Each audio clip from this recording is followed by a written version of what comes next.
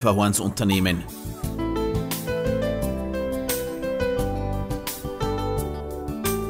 Von dort sind es dann nur noch wenige Minuten, die sie für einen Rückmarsch zum Ausgangspunkt ihrer Wanderung, der Bergstation der Zwölferhornseilbahn, benötigen.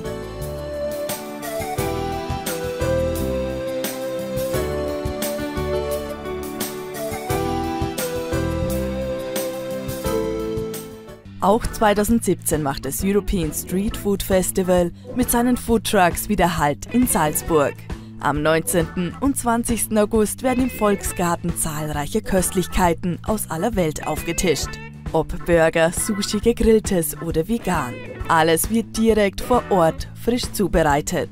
Schlendern Sie von Stand zu Stand und lassen Sie sich kulinarisch verführen. Dazu gibt es edle Weine, viele Biersorten und Cocktails. Der Eintritt ist frei. Mehr Infos unter www.streetfood-festival.eu. Die Tourismus- und Freizeitwirtschaft ist für jeden fünften Arbeitsplatz in Österreich verantwortlich. Durch zu viel Bürokratie und gesetzliche Einschränkungen wird den Hoteliers das Leben aber oft schwer gemacht. Die Probleme und Forderungen der Branche sind das Hauptthema der Veranstaltung der Mittelstandsallianz auf der Burg Golling. Ein wichtiger Wirtschaftszweig steht unter Druck. So das Motto der hochkarätig besetzten Diskussionsrunde auf der Burg Golling. Die Hotellerie und der Tourismus spielen in Österreichs Wirtschaft eine bedeutende Rolle. Trotzdem hat diese Branche viel Gegenwind. Dabei werden über 80 Prozent aller Investitionen der Hotellerie in einem Umkreis von 90 Kilometern getätigt. Wir haben hier nicht nur den Fliesenleger und das Sportgeschäft, wir haben auch den Bäcker, aber wir haben auch den Bauern, wir haben auch die Regionalität, wir haben ganz viele Familien, die deswegen in den Regionen bleiben können, weil es dort jede Menge Jobs gibt, die von der Hotellerie ermöglicht werden. Äh, und deswegen bin ich es leid, äh, dass wir immer einen Prügel nach dem anderen zwischen die Beine geworfen bekommen. Ich glaube, die Politik muss endlich lernen, dass sie nicht reagiert dort, wo eine Baustelle ist, sondern dass sie die Kuh, die den Karren zieht, endlich einmal füttert und nicht die Kühe, die halbtot hinten dran hängen. Und die Kuh, die den Kahn zieht, im ländlichen Raum ist definitiv der Tourismus. Durch Arbeitszeitregulierung oder steigende Kosten für Löhne und Gehälter stehen die Arbeitgeber immer mehr unter Druck. In der Diskussion spricht man sich auch für einen Bürokratieabbau aus. Immer wieder fällt das Thema der Lohnnebenkosten. Lohnnebenkosten ist für mich ein ganz starkes Thema bei 800 Mitarbeitern. Und wenn man bedenkt, du kannst ja fast nicht mehr überleben, wenn du den 13. und den 14. dann anschaust äh, vom, vom Zahlen her. Es ist, wenn wir Urlaubsgeld bezahlen, dann ist es die eine Sache. Aber dann kommt der 15. mit den Lohnnebenkosten und so weiter und dann ist es wirklich katastrophal. Für die Förderung des Unternehmertums steht auch Sepp Schellhorn. Als Hotelier und Abgeordneter zum Nationalrat der NEOS nimmt er teil an der Diskussionsrunde. Wir haben immer wieder Konzepte eingebracht. Bedenken wir nur an die Arbeitszeitflexibilisierung, an eine Kammerreform, an die Gewerbereform. Dass es den Menschen mehr Freiheit gibt und das Unternehmertum gefördert wird. Die Hotel- und Tourismuswirtschaft ist eine der wichtigsten Säulen des österreichischen Mittelstandes. Und der Mittelstand sollte sich viel mehr auf die Beine stellen. Laut Hans Harrer ist er für die Politik nur in der Vorwahlzeit von Bedeutung.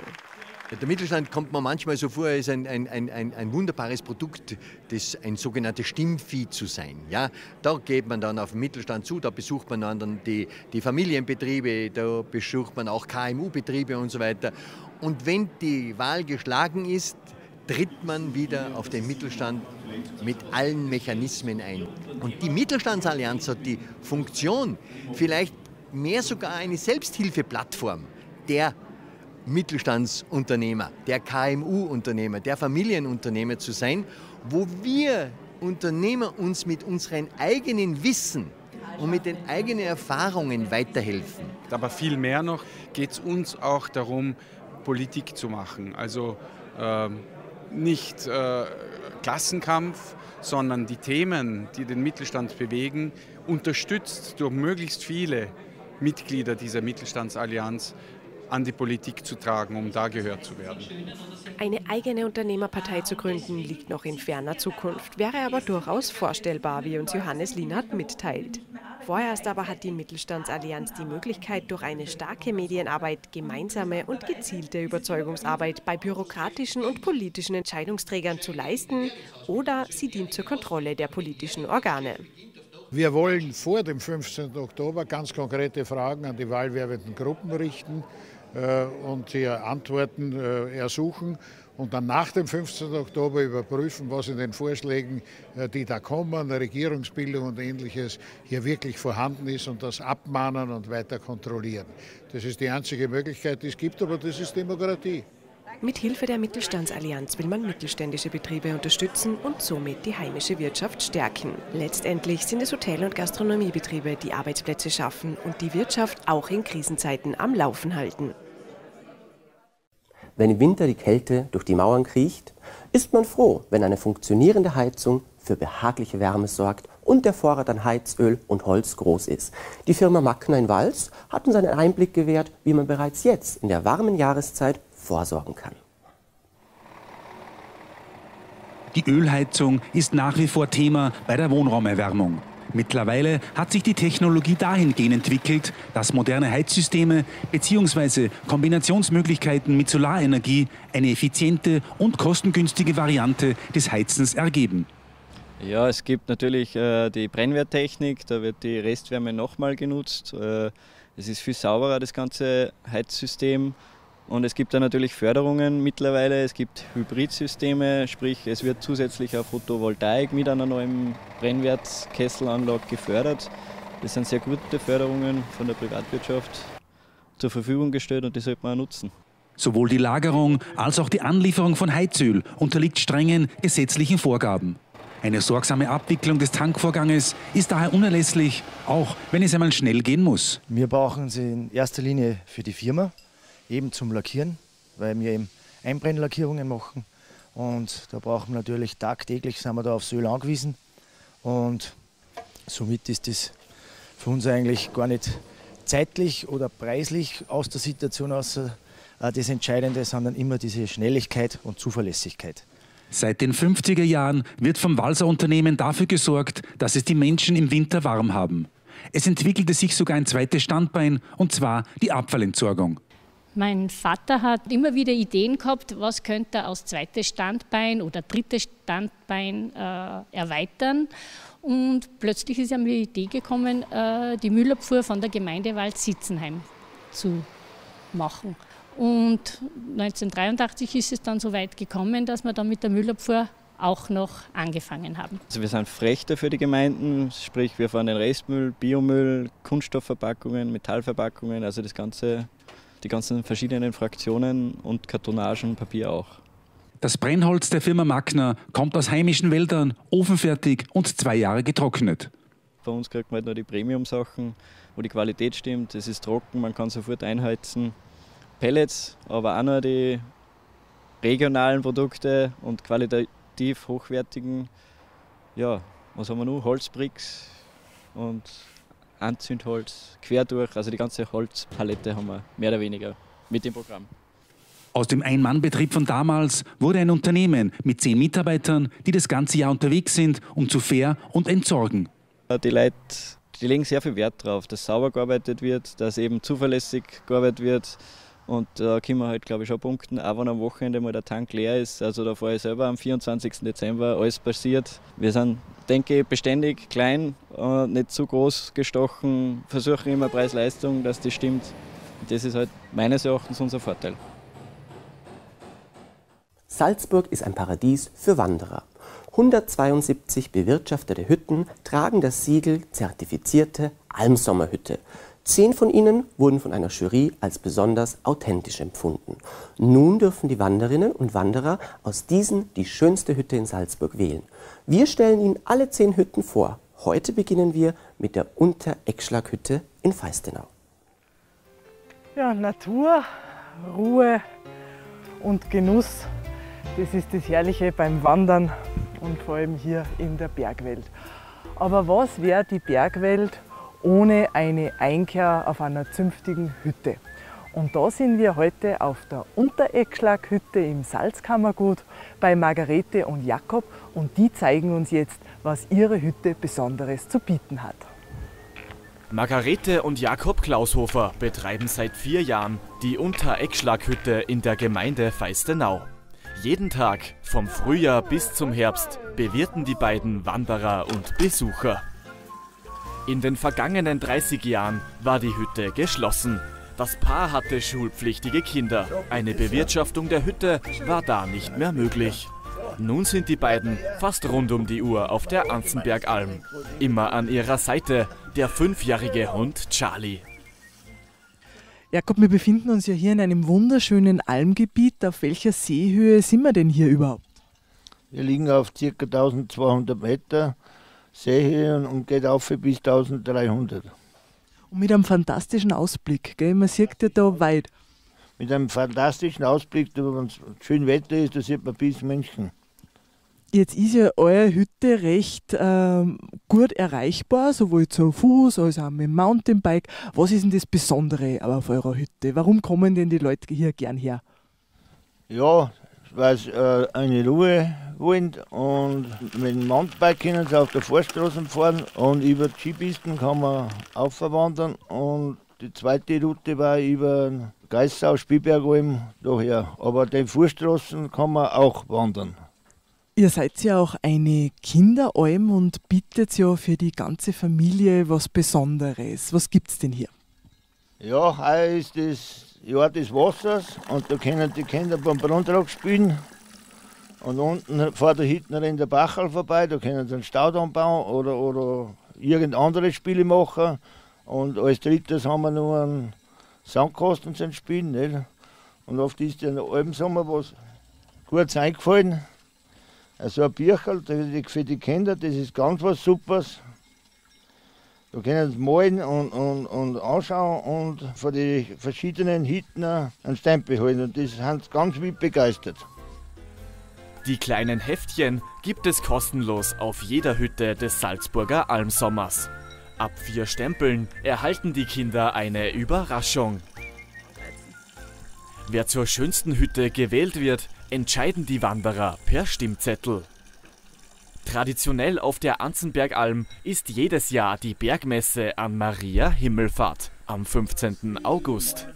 Nach dem Wortgottesdienst sind alle Messebesucher noch zu einem musikalischen Frühschoppen auf der Untereckschlaghütte eingeladen. Es bleibt mal allweil in mein Sinn, ich weiß, wo ich daheim bin. Es bleibt mir allweil in mein Sinn, ich weiß, wo ich daheim bin. Für die Verpflegung der Gäste sorgt Margarete. Jo, ich hätte gerne Bredeljausen, bitte. Ja. In ihrer kleinen Küche bereitet sie typische Hüttenschmankerl wie Schnittlauchbrot oder Bredeljausen zu. Auf der Bredeljause ist Käse, Wurst, Paprika, Tomate, Butter, Krähen und, und Gurkel. Für das leibliche Wohl ist auf der Untereckschlaghütte auf jeden Fall gesorgt. Ja, hervorragend. Das schaut ja sehr gut aus. Eine besondere Spezialität von Margarete und Jakob sind die selbstgemachten Liköre und Schnäpse zum Probieren und zum Mit nach Hause nehmen. Ja, zum Abschluss nehmen wir immer natürlich nur gerne ein Schnapsal oder ein Likör von euch mit. Was kannst du mir denn da empfehlen? Ja, wir haben acht verschiedene Likörsorten, zwei Schnäpse und einen Nussschnaps. Nicht? Und, und da kannst du was mitnehmen von da. Dann nehmen wir immer bitte gerne einen Hollerblütenlikör mit. Ja, den haben wir da. Danke und komm gut runter. Bis zum 15. September können alle Wanderer über die schönste Hütte im Salzburger Land abstimmen. Stimmzettel gibt es auf jeder Salzburger Almsommerhütte.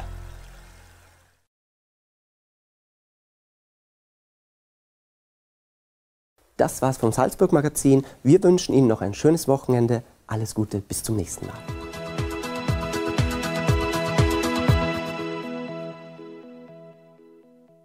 Diese Sendung wurde Ihnen präsentiert von Wielandstreppen. Unsere Arbeit spricht für sich. Seit mehr als 75 Jahren.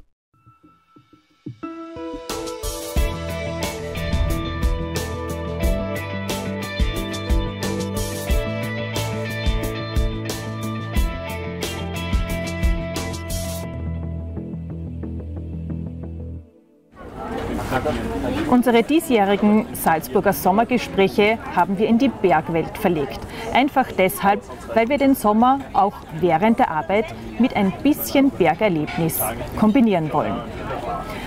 Mit Landesrat Hans Mayer ging es auf die Meißelsteinalm nach Goldeck, mit Landeshauptmann Wilfried Haslauer auf die Zistelalm am Geisberg. Heute bin ich wieder auf einer Alm und dennoch mitten im Herzen der Salzburger Altstadt. Herzlich willkommen auf der Stadtalm zum Sommergespräch mit Landeshauptmann-Stellvertreterin Astrid Rössler. Frau Dr. Rössler, grüß Gott. Grüß Gott, danke für die Einladung. Ähm, wir sind hier auf der Stadtalm am Mönchsberg, genießen hier eine wunderbare Aussicht äh, über die Salzburger Altstadt, sind gleichzeitig mitten in der Natur. Was macht diesen Platz so besonders für Sie? Ja, die Schönheit der Stadt macht sicher aus diese Verzahnung von Stadtbergen, grünen Landschaften, sehr angenehm nahe als zur Erholung, aber auch so ein bisschen hineinschnuppern in Sommerstimmung, Besucher, Besucherinnen, die man hier trifft diese Verzahnung von Stadt und Natur, können Sie das auch im Arbeitsalltag ein bisschen nutzen, um sozusagen einmal irgendwo für zwei Stunden kurz zu entspannen oder auch einmal in Ruhe über etwas nachdenken zu können? Dazu bleibt ehrlich gesagt nicht wirklich viel Zeit. Für mich ist es so der Weg ins Büro und der Weg nach Hause entlang der Glan durch diese Moosflächen äh, in Leopoldskron. Das ist so mein, mein Übergang, wo ich ganz bewusst auch die schöne Stadtlandschaft genießen kann. Ich bin mir jeden Tag bewusst, in welcher tollen Stadt wir leben. Weil wir hier schon auf dem Mönchsberg sind, im Mönchsberg drinnen ist die Mönchsberg-Garage, ein großes Streitthema zwischen Stadt und Land. Mm, als Beobachter hat man das Gefühl, dass die politische Brücke zwischen Chiemseehof oder von mir aus jetzt Rathaus als Ausweichquartier und dem Schloss Mirabell der Stadtregierung nicht so richtig trägt. Woran liegt das? Ich glaube, zum einen liegt schon daran, dass ähm, mein Verständnis ist als, als Aufsichtsbehörde des Landes äh, sehr wohl die, die autonome Entscheidung der Stadt ja auch zu respektieren. Die Grundlagen, das räumliche Entwicklungskonzept, auch die Flächenwidmungsentscheidung. Ähm, bei der Verkehrspolitik, die mich ja nicht vom Ressort betrifft, aber bei der Verkehrspolitik gibt es natürlich die Verzahnung von Stadt und Umland. Dort erleben wir als Betroffene, dass die Stadt an ihren Leistungsgrenzen, was Verkehrskapazität und Staus betrifft, angelangt ist. Und da geht es jetzt darum, wie man auch äh, gemeinsam nach Lösungen sucht, äh, zu sagen, wie sollte denn die Verkehrspolitik künftig aussehen? Äh, wie beurteilen wir auch auf Widmungsebene die Verkehrsauswirkungen? Und da war dann sozusagen auch die, meine Betroffenheit als Aufsichtsbehörde im Flächenwidmungsverfahren, wo ich Widersprüche zu den Planungsgrundlagen der Stadt gesehen haben und da sozusagen, da stehen wir jetzt. Das ist auch hm, der Stand, dass ja das Widmungsverfahren zwar genehmigt ist, aber noch eine Revision läuft. Und gleichzeitig doch auch die Diskussion, wie schaut denn eine ähm, menschengerechte Mobilität in der Stadt aus für alle Betroffenen, dass Bewohnerinnen gut in die Stadt kommen können, Parkmöglichkeiten haben, auch der Wirtschaftsverkehr äh, nicht behindert sein sollte. Aber dass wir schon uns überlegen müssen, der Tagesverkehr, die Kurzzeitbesucher, dass nicht jeder und nicht jeder in die Stadt jederzeit fahren kann, weil einfach die Kapazitäten das nicht mehr schaffen. Das äh, Landesverwaltungsgericht hat den negativen Bescheid aus Ihrem Ressort aufgehoben. Ähm, jetzt geht es äh, weiter. Ähm, sagt es auch etwas aus über die Qualität der Entscheidung? Es geht um eine grundsätzliche Entscheidung, wie das Raumordnungsgesetz zu interpretieren ist. Ähm, nach meinem Verständnis muss die Aufsichtsbehörde sehr wohl auch die Planungsgrundlagen der Stadt äh, anschauen dürfen. Das hat das äh, Landesverwaltungsgericht anders beurteilt, hat aber trotzdem auch einige inhaltliche Aussagen getroffen. Also auch das Landesverwaltungsgericht war sich in dem Punkt nicht ganz sicher, wie das äh, Raumordnungsgesetz zu interpretieren ist.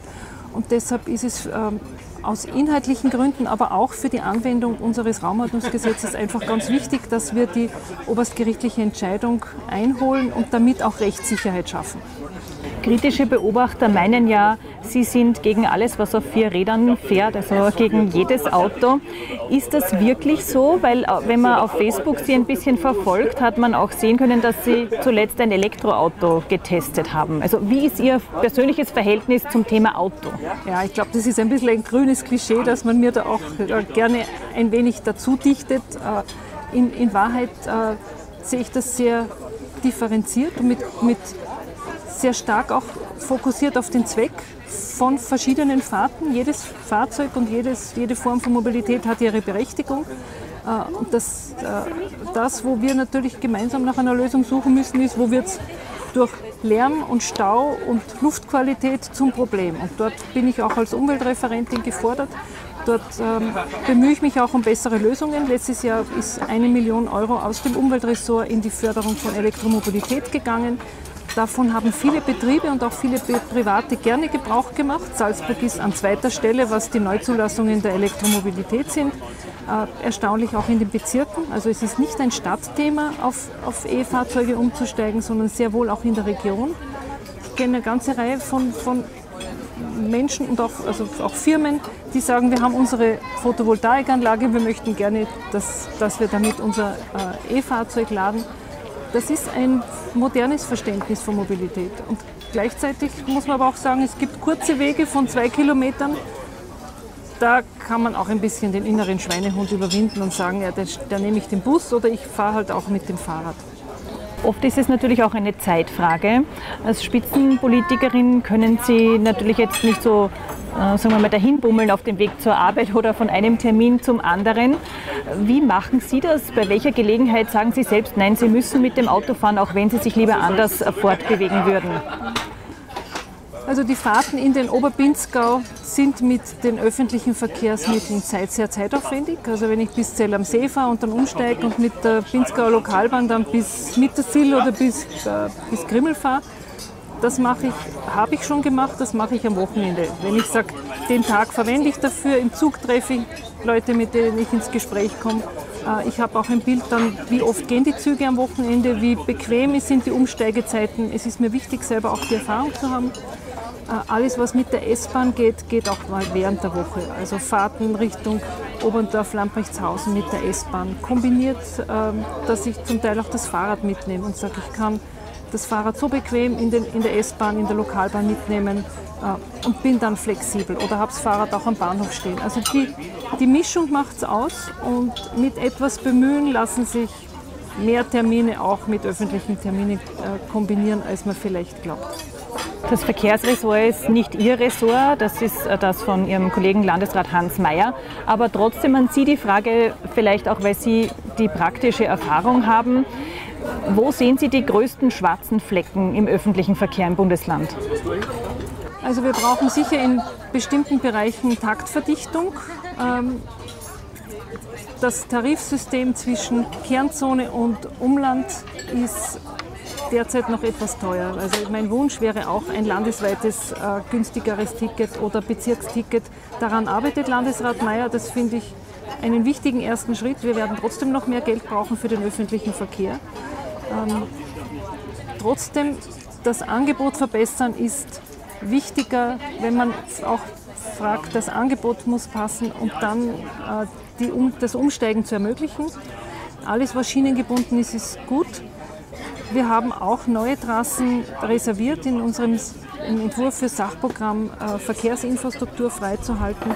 Wir müssen jetzt daran arbeiten, diese Trassen zu schützen und freizuhalten, damit wir auch gerade in den Flachgau, in die, in die dichter besiedelten Bereiche auch den Ausbau in Angriff nehmen können. Steht natürlich jetzt auch überhaupt nicht zur Debatte, wer in einer neuen Regierung das Verkehrsressort vielleicht oder vielleicht auch nicht übernehmen wird. Aber trotzdem nachdenken darf man über alles. Wäre es für Sie vorstellbar, einfach auch aufgrund Ihrer großen Erfahrung mit dem öffentlichen Verkehr, äh, sich dieses sehr, sehr schwierigen Ressorts anzunehmen? Also die Raumplanung und das Verkehrsressort würden schon sehr gut zusammenpassen. Also ich, das Interesse für das Thema äh, ist groß. Bleibt natürlich abzuwarten, ob das auch von der Salzburger Bevölkerung entsprechend äh, bei der Wahl auch belohnt wird, zu sagen, nein, wir, wir sehen, dass eine grüne Regierungsbeteiligung äh, gute Arbeit leistet und große Fortschritte auch in wichtigen Bereichen des Landes gebracht hat. Zum Thema Landtagswahl kommen wir dann noch. Wir haben vorher noch zwei andere Wahlen zu schlagen, eine Nationalratswahl und eine Bürgermeisterwahl in der Salzburger Landeshauptstadt. Ähm, neben anderen Parteien und anderen Kandidaten wird äh, Bernhard Auinger sich um das Amt des Bürgermeisters bewerben als möglicher Nachfolger von Heinz Schaden. Im Bezirksblätter Video-Interview hat ähm, Bernhard Auinger wahrscheinlich nicht ganz ernst gemeint äh, gesagt, er würde wahnsinnig gerne einmal eine Pizza für Sie zubereiten mit etwas besonders Scharfem darauf. Wie ist das bei Ihnen angekommen? Ah, ich habe ihn im Zuge der Mönchsberg Garage äh, zweimal auch persönlich getroffen. Ähm, wir hatten ein gutes Gespräch, trotz der schwierigen Materie. Ähm, der Termin ist schon vereinbart. Ähm, das heißt, es wird zum Pizzaessen kommen? Es wird das Pizzaessen definitiv stattfinden und er wird von mir auch äh, ein paar scharfe Chili persönlich überreicht bekommen. Ähm, ich hab Sind das, Entschuldigung, rote oder grüne Chili dann? Ja, ich habe festgestellt, alle grünen Chili werden am Schluss rot, wenn sie die volle Schärfe entwickeln. Ähm, mein großer Tabaluga, das ist ein großes, ein, ein großes Chili-Exemplar und auch die kleinen. Und dann gibt es noch Kirschchili, also er bekommt ein paar schöne von mir, die bringe ich ihm mit. Wie wichtig ist es denn für Sie persönlich mit politischen Gegnern, Sie werden wahrscheinlich nur von Mitbewerbern sprechen, aber trotzdem, es sind dann auch mal Gegner, eben mit politischen Gegnern ins Gespräch zu kommen? Also es ist mir sehr wichtig, äh, einen, einen fairen Umgang zu behalten und den Menschen nicht aus den Augen zu verlieren. Egal wie weit man auseinander ist mit den Fachmeinungen, auch welche Themen. Äh, hart zur Sache, weich zur Person. Also das habe ich im Landtag so gepflegt und das äh, habe ich auch in schwierigen Gesprächen so gepflegt. Und meine Erfahrung damit war gut. Ich glaube, dass Salzburg auch insgesamt ein sehr gemessen im Vergleich ein, ein gutes politisches Klima hat, wo, wo der Mensch und auch so etwas Privatsphäre auch respektiert wird. Ähm, das schätze ich sehr. Und wenn Sie politische Mitbewerber abseits der politischen Bühne wo treffen, äh, wie begegnet man sich dann? Grundsätzlich freundlich. Es gibt unterschiedliche Berührungspunkte, es gibt auch unterschiedliche, nee, man kennt nicht jeden gleich gut, aber im Grunde äh, ist für mich immer ein, ein Grund, auf, auch auf den anderen zuzugehen und dass man sich begrüßt und ein paar Worte wechselt, je nachdem, wo man sich trifft. Die politische, äh, berufliche Beziehung zwischen Ihnen und dem Salzburger Bürgermeister Heinz Schaden war nicht so sehr von Höhen und Tiefen geprägt, sondern eher von Tiefen. Da hat es doch ein paar Themen gegeben, äh, in denen Sie sehr weit auseinandergestanden sind, auch bei den Untersuchungsausschüssen zum Thema Olympia, zum Thema Finanzskandal selbstverständlich. Wie äh, haben Sie ihn in der Zusammenarbeit mit Ihnen erlebt? Ist ein, ein, ein, Kapitel, das mich auch immer wieder nachdenklich gemacht hat, weil ähm, ich doch auch immer wieder versucht habe, auf der sachlichen Ebene einen Zugang zu finden. Das war nicht so einfach. Wir haben doch auch im, im Aufsichtsrat der Salzburger AG, ähm, haben wir beide einen Sitz. Ähm,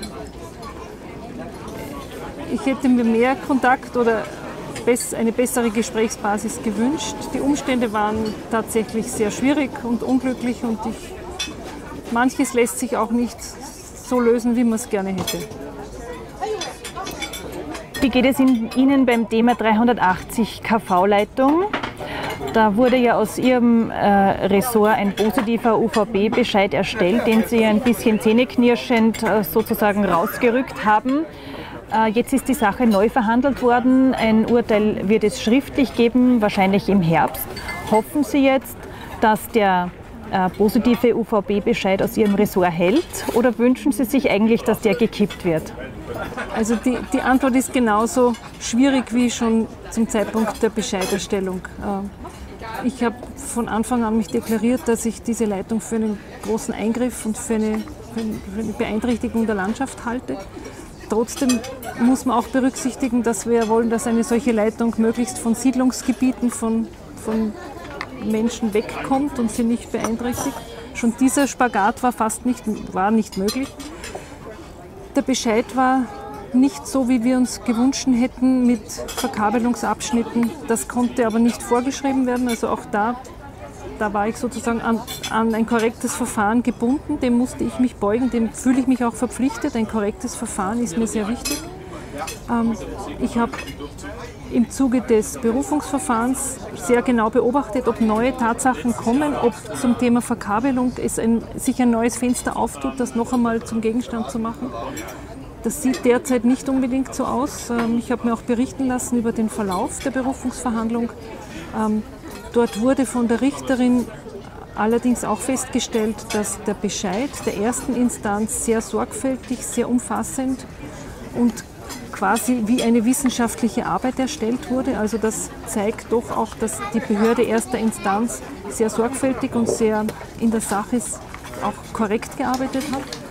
Ähm, wenn es eine andere Lösung gibt, die uns diese große Freileitung erspart und auf neue Technologien umsteigt, wäre das sicher einen Versuch wert. Äh, trotzdem befinden wir uns jetzt in einem Verfahren und wünschen tut man sich, dass am Ende ein Ergebnis rauskommt, das für alle quasi das Optimum ist. Und das ist bei so einem Projekt wahrscheinlich kaum möglich. Wenn Sie schon sagen, das ist Ihr Wunsch und der wird wahrscheinlich nicht möglich sein, was wäre denn Ihr zweitliebster Wunsch? Eine Bereitschaft äh, der, der Projektwerberin APG über manche Trassenabschnitte auch nach einem Abschluss noch einmal nachzudenken. Also es gibt einfach ein paar Knackpunkte, wo sich vielleicht aus anderen Gründen noch einmal eine, eine technische Möglichkeit auftut.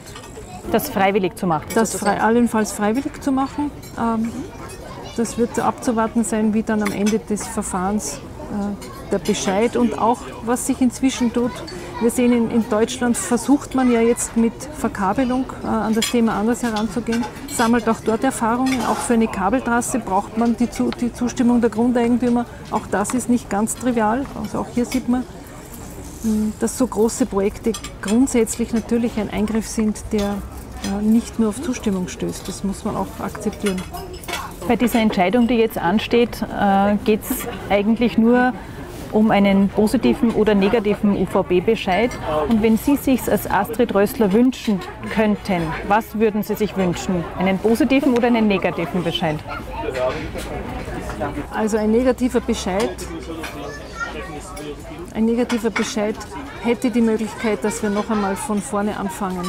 Also in der Sache wäre ein negativer Bescheid die Chance, dem Land diese Freileitung zu ersparen. Und gleichzeitig würde das bedeuten, dass in erster Instanz nicht gut entschieden worden ist.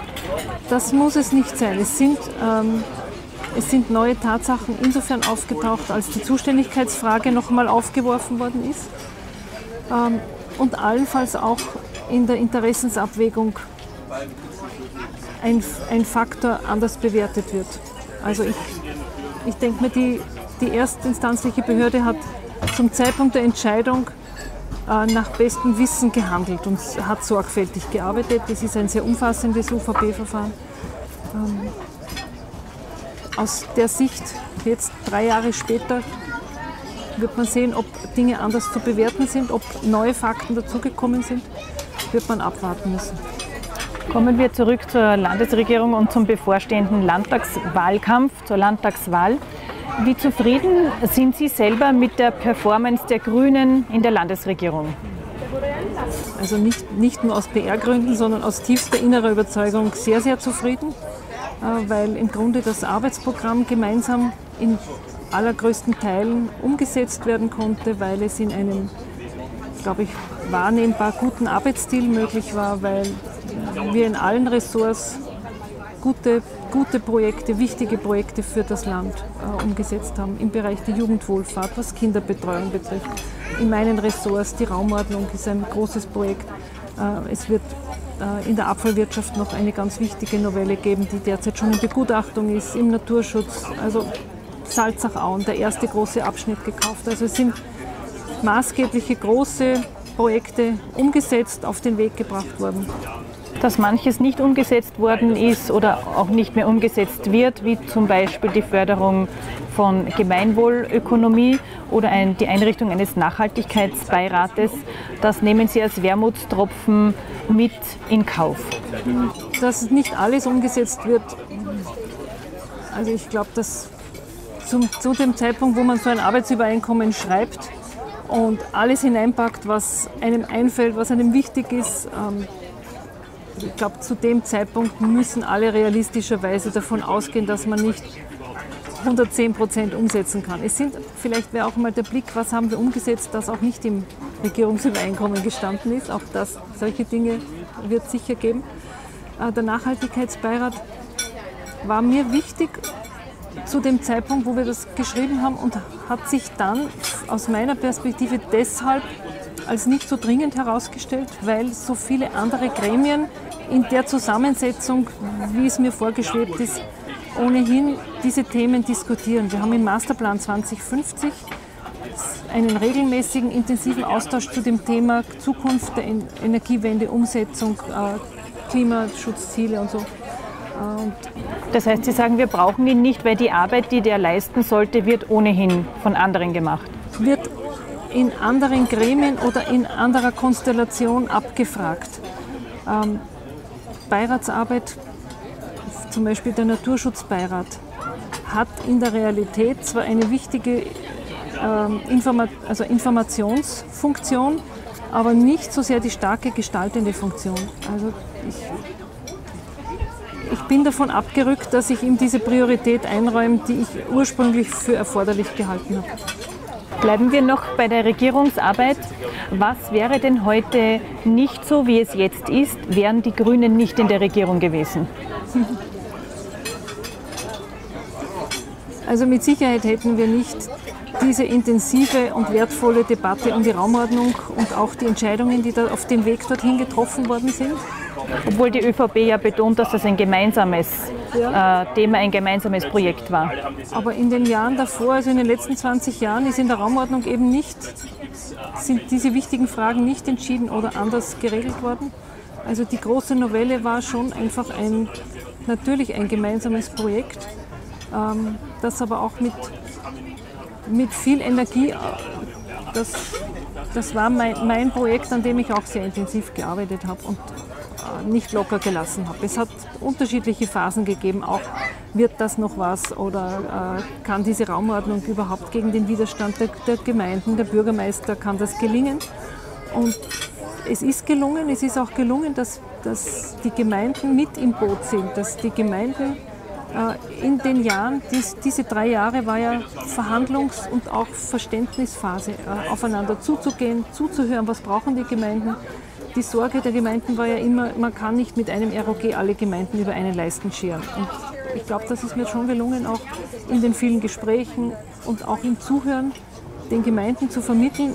Es ist mir ein Anliegen, dass es den Regionen, den Gemeinden gut geht dass ihr die, die, Instrumente in die Hand bekommt, gute Raumordnung zu machen, dass die Raumordnung aber auch auf Gemeindeebene gut angesiedelt ist. Dort soll, dort soll eine Gemeinschaft über die Gestaltung der Gemeinde entscheiden, soll sich die Zeit nehmen in einem räumlichen Entwicklungskonzept, soll äh, über Flächenwidmungen, über sparsamen Umgang mit Grund und Boden sich Gedanken machen.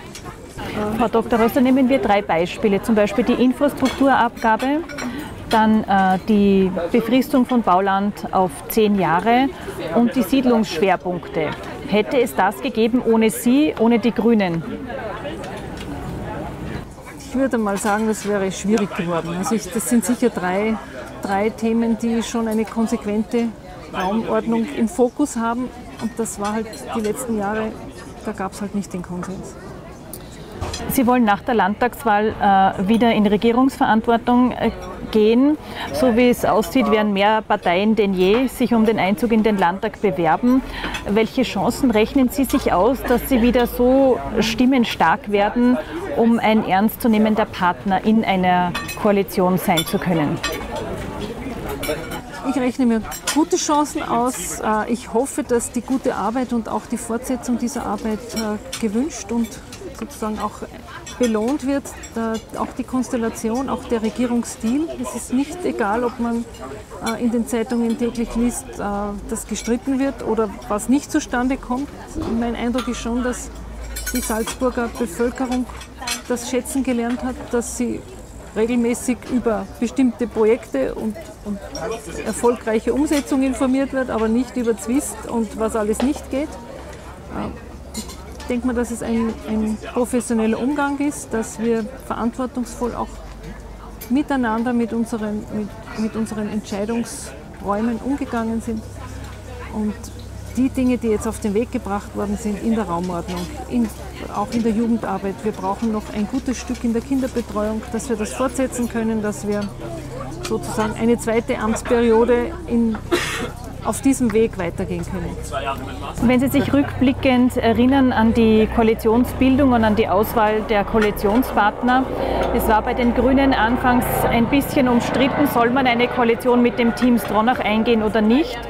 Rückblickend betrachtet war das eine kluge Entscheidung. Würden Sie das wieder so machen?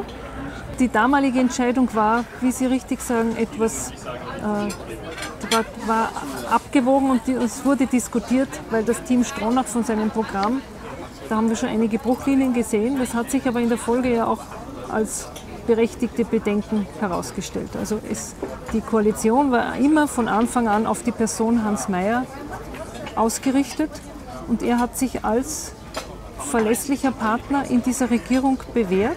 Er hat eine wichtige Rolle, zwei sehr wichtige und auch schwierige Ressorts übernommen. Also er hat nicht nur sich viel Arbeit aufgebürdet und auch äh, eine ganze Reihe von Problemen, die er auch, für die er auch hergestanden ist, aber er hat auch in der, in der Gesamtkonstellation unserer Regierung eine, einen ausgleichenden und sehr konstruktiven Part eingenommen.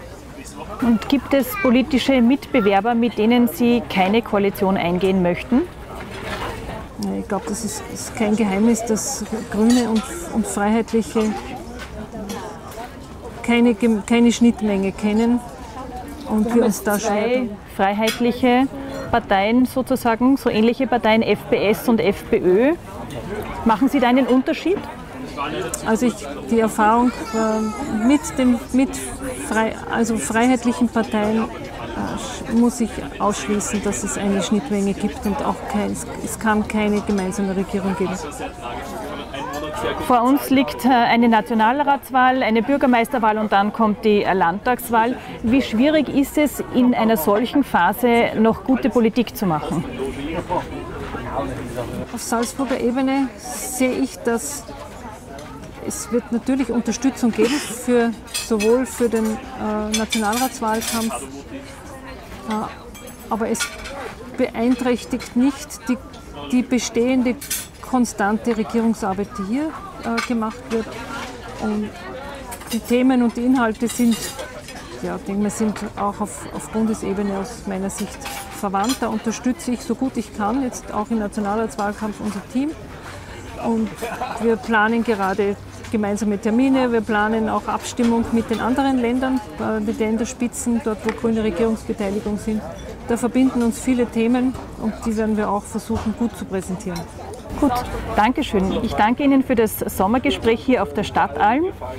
Ihnen ein Danke fürs Zuschauen. Ich darf mich nun äh, an dieser Stelle von Ihnen verabschieden. Wir haben damit das letzte unserer drei Sommergespräche äh, erreicht, fertig gemacht sozusagen. Wir sehen uns dann hier wieder im Herbst mit einer regulären Ausgabe von Bezirksblättern nachgefragt.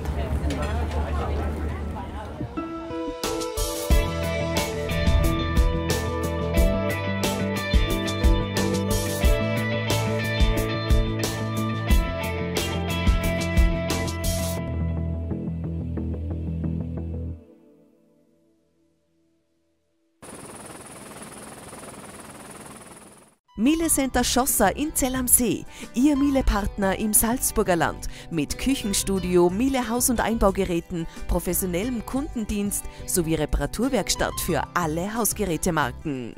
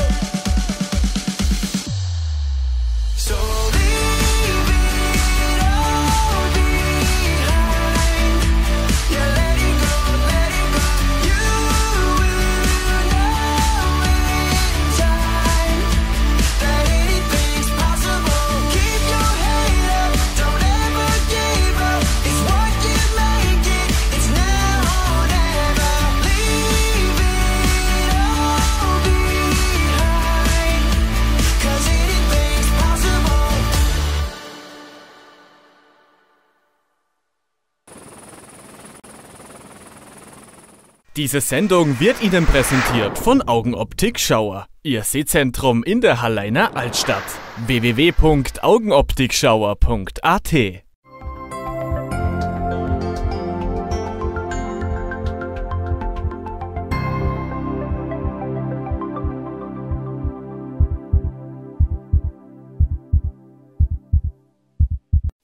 Willkommen zur Augustausgabe von Gesund in Salzburg. Besonders farbenfroh unser erster Beitrag. Leuchtendes Rot, sanftes Lila, sattes Dunkelviolett. So farbenprächtig präsentieren sich zurzeit die Bauerngärten in unserem schönen Land. Ein besonders malerisches Fleckerl ist in der Geisau auf über 800 Meter zu finden. Unsere Apothekerin Helga Eichinger führt sie heute auf den Wallmannhof wo sie sich mit Bäuerin Christine Schneidmann ausgiebig über heimische Heilkräuter unterhalten hat. Hören wir den beiden beim Fachsimpeln zu.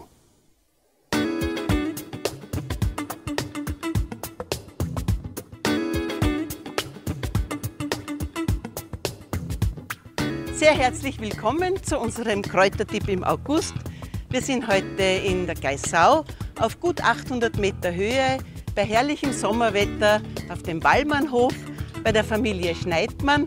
Ah ja, und da kommt ja auch schon die Herrin des Hauses. Servus, grüß, grüß dich, Helga. Sage dir gleich mal unseren ja, Kräutergarten, gell? Ja. Kim. Ja, jetzt sitzen wir da ganz fein unter dem Mispelbaum im Schatten. Christine, äh, wie bist du zu dem Ganzen gekommen? Zu, zu äh, ja, ich habe äh, TH-Praktiker-Ausbildung gemacht und äh, dann habe ich mich entschlossen, dass ich mir einen Kräutergarten anlege, weil Platz haben wir mir genug am Hof. Jetzt hast du gesagt TH. TH, ja Vielleicht genau. Kann man das kannst du uns das noch ein bisschen erklären? TH ist die Abkürzung für traditionell europäische Heilkunde. Aha, ja. Und da geht es eben darum, dass man einfach äh, das wieder weitergibt, was Tradition immer schon war und das Traditionelle eben zum Beispiel die, wie Pechsäule machen geht mhm. oder eben auch die traditionell bei uns gewachsenen Kräuter, die eigentlich ja, immer schon auf die Bauernhöfe waren oder immer, jeder eigentlich früher im ja. Garten gehabt hat. Das, das, alte europäische Heilwissen einfach wieder weitergeben, weitergeben und wieder genau. beleben. Ja. Genau, um das geht es da.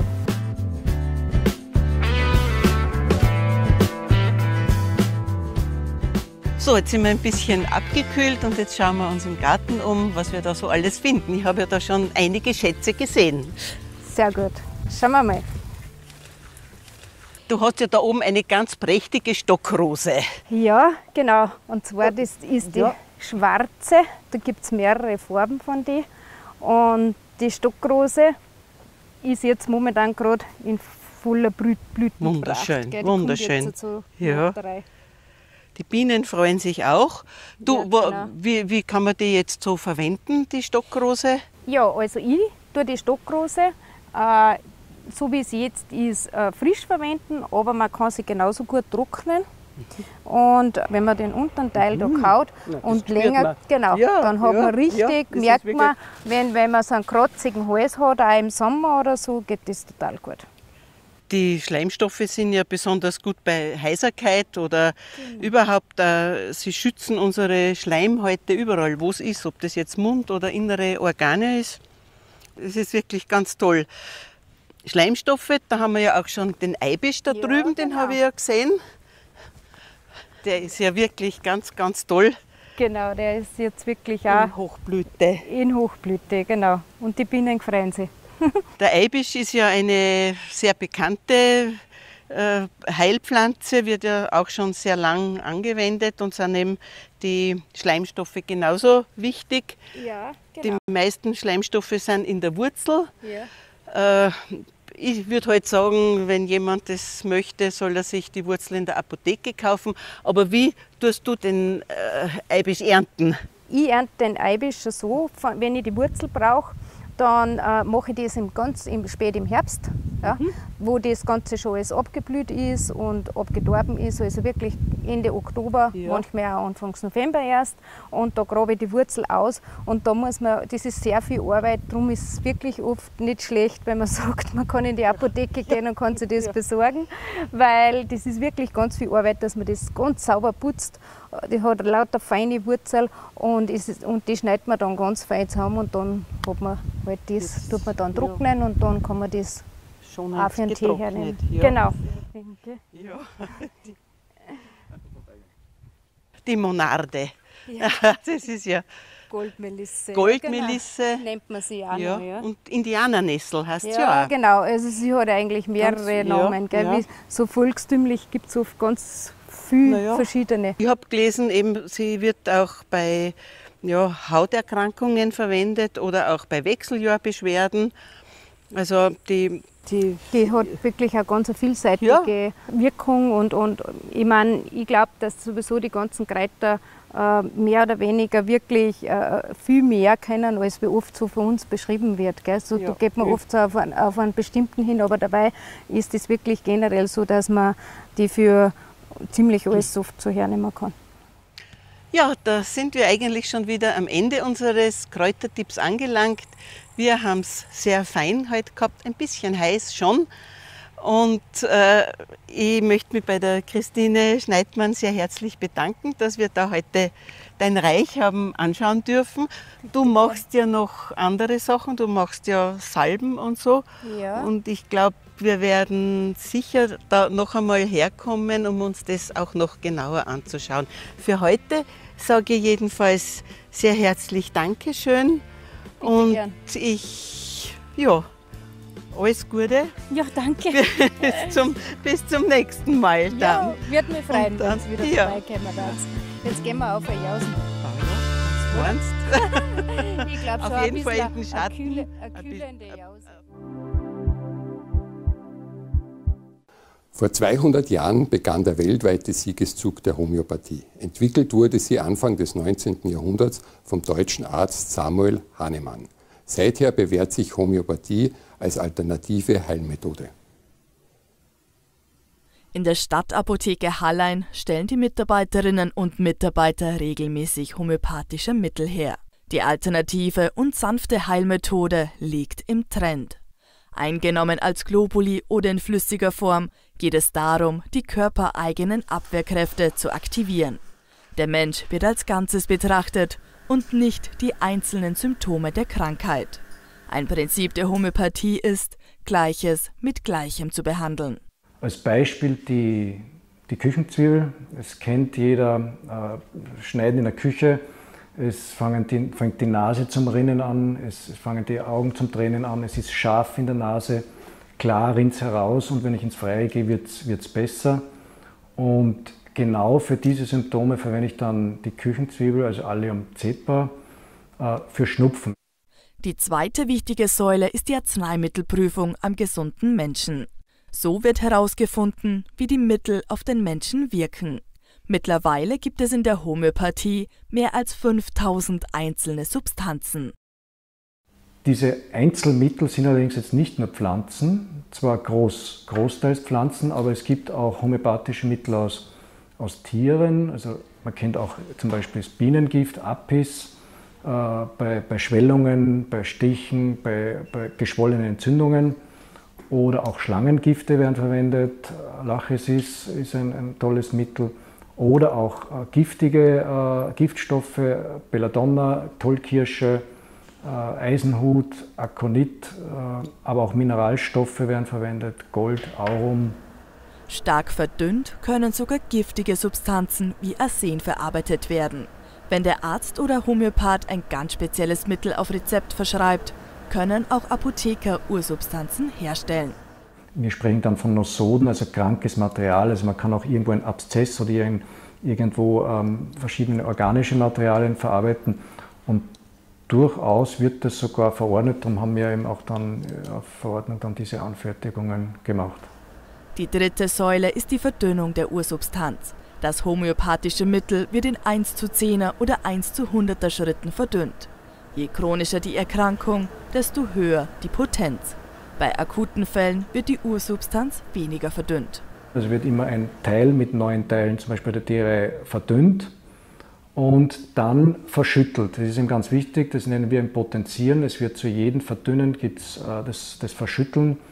Ähm, hier wird die Information des Mittels auch weiter transportiert, weil man kann sich vorstellen, dass ab C12 oder so ist ja kein, kein Molekül von der, von der Ausgangssubstanz mehr in, in diesen Lösungen drinnen. Und äh, durch das äh, Verschütteln, Dynamisieren ähm, gibt, gibt, man die Information in den, in den Potenzen weiter. Auch die Dosierung hängt vom Patienten ab. Je nachdem, wie hoch das Mittel potenziert ist, soll es öfters oder weniger oft eingenommen werden.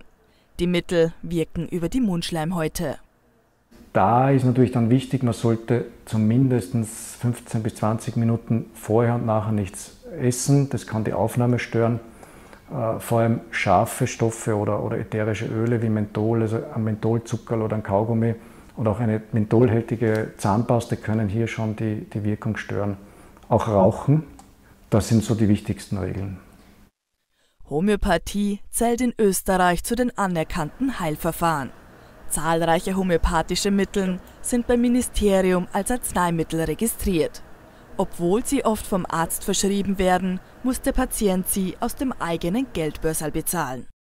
Man kann auch bei Tieren sehr gute Effekte sehen, die ja nicht wirklich wissen, um was es geht.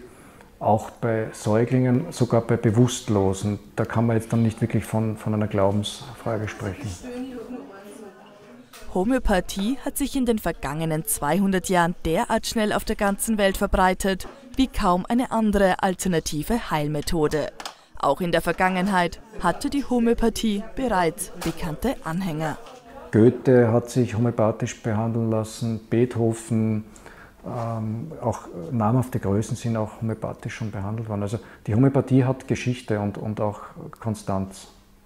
Für die Globuli wird die fertig verdünnte Substanz auf kleine Kügelchen geträufelt und anschließend gut vermengt. Sobald sie getrocknet sind, werden sie abgefüllt und können vom Patienten abgeholt werden. In dieser Ausgabe zeigen Ihnen unsere Fitnessexpertin Karin Gruber mit Obfrau Petra Nocker-Schwarzenbacher wieder einfache gymnastische Übungen zum Mitmachen. Grüß Gott, liebe Zuseher auf RTS. Heute wollen wir uns beschäftigen mit Mobilisieren und Dehnen. Die Halswirbelsäule, der obere Bereich. Ich sitze Stunden am PC, am Computer, ich bin im Service, ich bin in der Küche, ich bin im Büro. Es ist also sehr vielfältig das Ganze und ich habe da oben Verspannungen. Nichts leichter als wir in der Halswirbelsäule. Ich glaube, da rede ich für sehr, sehr viele. Und da gibt es eine ganz, ganz gute Übung, dass man die Halswirbeln wieder mobil macht, dass die Gelenksflüssigkeit wieder zum Schmieren anfängt und der Knorpel nicht treibt. Die Petra und ich wollen Ihnen jetzt zeigen, und zwar, wir haben Blick nach vorne gerichtet, die Arme lassen wir ganz locker hängen und nun nicken wir mit dem Kopf nach hinten und nach vorne. Ganz dynamisch, nicht reißen, ohne jeglichen Kraftaufwand, ganz locker.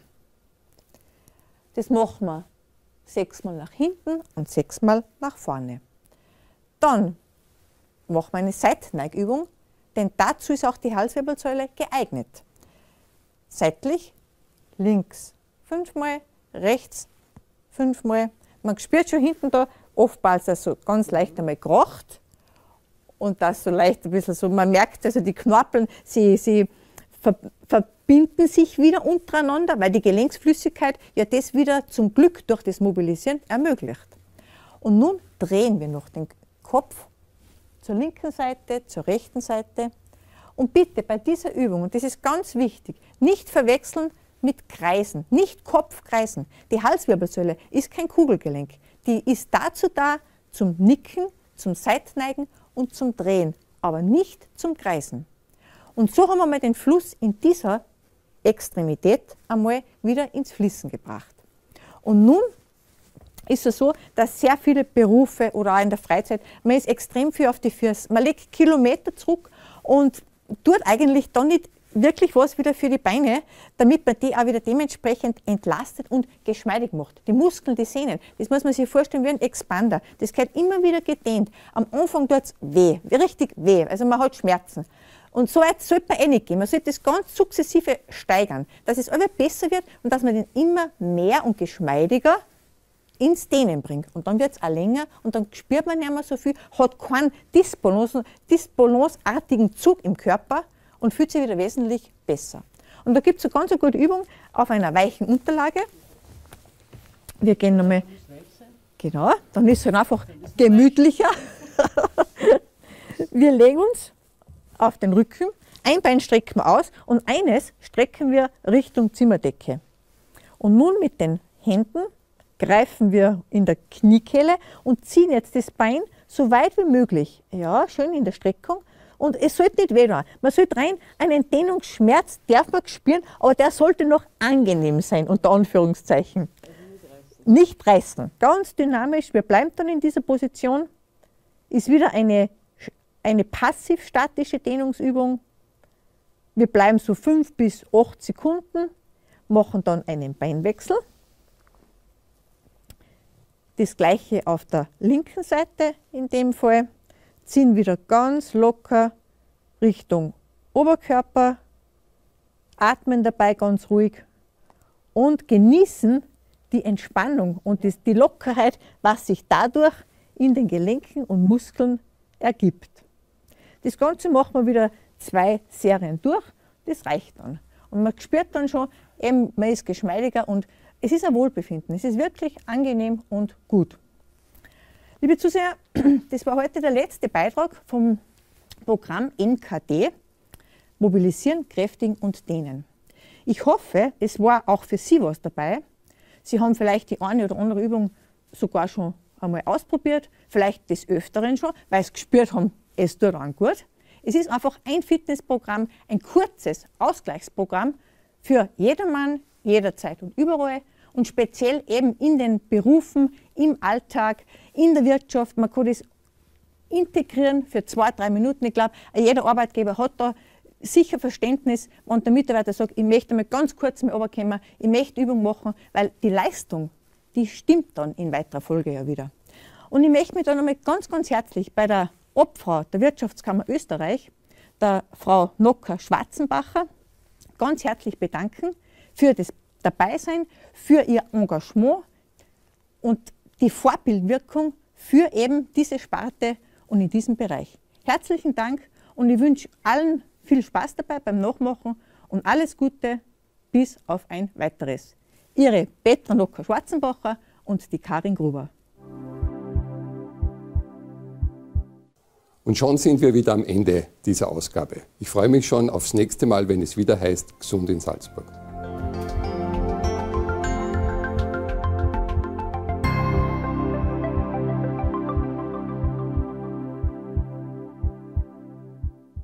Diese Sendung wurde Ihnen präsentiert von Augenoptik Schauer, Ihr Sehzentrum in der Halleiner Altstadt.